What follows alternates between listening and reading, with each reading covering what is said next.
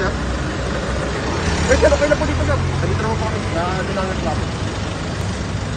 Sir, dito naman po. May may natin sa office, sir. Sir, may lisensya ka, sir. Sir, may lisensya ka. Sir? Sir, wala ka po tayo sa traka. Walang ORCR. Wala tayong ORCR, sir. Sir? Sir, wala nga tayong... Kasi certificate na namin, sir. Wala nga tayong, ano, sir, eh. ORCR na dala, sir, eh. Verification naman. Oo, hindi lang. Ano yung ano? Sir, sir, sir. Sir, sir. Ano yung nasa ito, sir?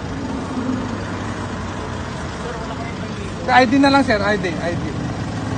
Sir, sir.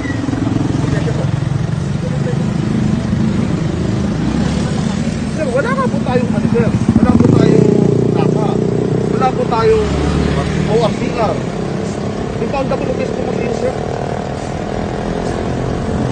Sir, sir, sir. Trabaho lang po talaga, sir. Sir? Sir? Hindi namin sir kayo hinahanap sir. Wala nga po tayong plaka, sir.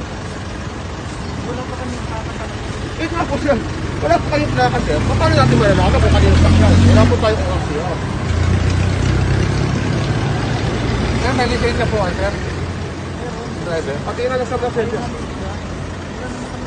Eh, mali naman po yun, sir. Kami sir, nakikiusap sa inyo dahil nagtatrabaho lang din naman, sir.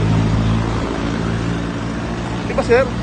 Sir, may, meron po kayong violation, sir. Meron. Hindi po kayo paparahin kung walang violation. Wala po tayong plaka, sir. Kahit tinan nyo rito. Wala po. Wala po tayong plaka harap at likod, walang conduction. Wala rin po kayo makipakita ng ORCR. Doon pa lang ho, sir. Dalawa na po ang violation natin. Impoundable na ho ang violation natin, sir. Tama pa kayo, sir.